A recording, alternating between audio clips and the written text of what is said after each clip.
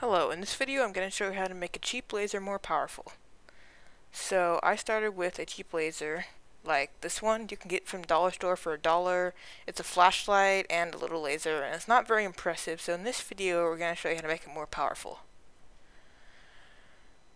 So the first step is to take off the sticker. This will let you get the end cap off. Now unscrew the bottom and remove the batteries. Now, using a pair of wire clippers, I grabbed the bottom of the end cap and wheeled it off, and now you can pull out the circuit board and the laser module and all kinds of stuff. So I took off the end cap, and this brass part here is the laser diode, and here's the LED for the flashlight, and here's the switches and the circuit board and stuff.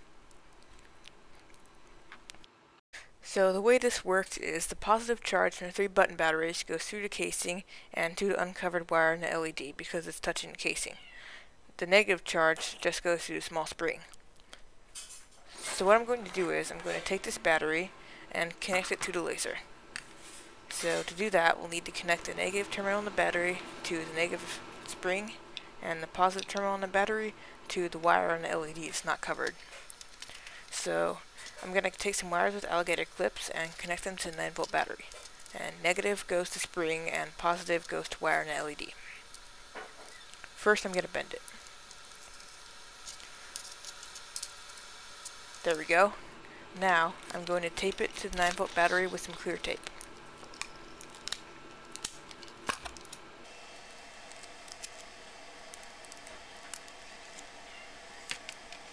Don't try to use the LED because the voltage from the 9 volt battery will basically melt it. There we go. As you can see, it's much brighter than it was before. Here's how bright it is compared to my 100 milliwatt green laser. Used to be this bright. Here's a quick chart on the brightnesses. Now, I've tried to burn stuff with this laser, but it won't work, but I'm still pretty satisfied with the result. However, be careful, because if you have it on for more than a few seconds at a time, it will damage the laser diode and it'll pretty much stop working. I've already broke two laser diodes this way. Anyway, thanks for watching. Please like, share, and subscribe.